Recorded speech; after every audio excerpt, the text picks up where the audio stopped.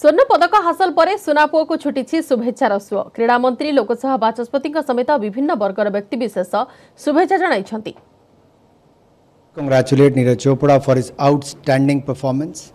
I think every Indian was glued to the TV channel. Historic win, a great achievement, highest ever tally in Olympics. At the same time, I think he has done a fantastic job. Let me congratulate Neeraj Chopra on behalf of 135 crore Indians.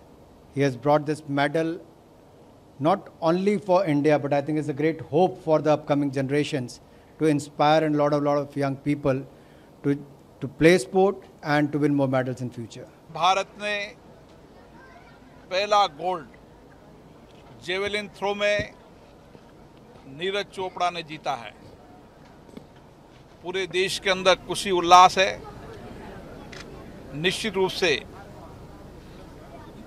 Chopra के कारण जो हमने gold जीता है, उससे देश के नौजवानों को नई प्रेरणा मिलेगी।